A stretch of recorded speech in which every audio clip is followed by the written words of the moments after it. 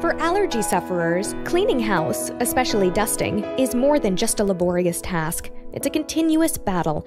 Dealing with dust and dust mites is crucial because for approximately 20 million Americans, they cause severe allergies. If you're one of these individuals, you've experienced the constant feeling that you have a cold. While medication can help, most come with health risks. By regularly cleaning your home, you can help keep dust allergens away. When it comes to eliminating dust, start in the bedroom, a refuge for dust. You'd be surprised by the sheer volume of dust mites that gather in what is most people's favorite room. Pillows, mattresses, and bedding are breeding grounds for tiny dust mites, the primary cause of dust related allergies.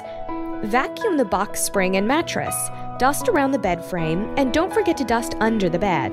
For additional protection, remove stuffed animals and decorative pillows. Unless you just can't live without knickknacks or don't mind dusting each and every piece, at least cut back on them because they're huge dust collectors. Your home is hopping with dust bunnies, and there's nothing cute about them.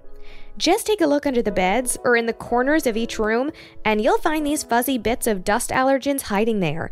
So, dust under the furniture, along the baseboards, inside the pleats atop your curtains, between appliances, and all of those other, often forgotten about nooks and crannies in your home.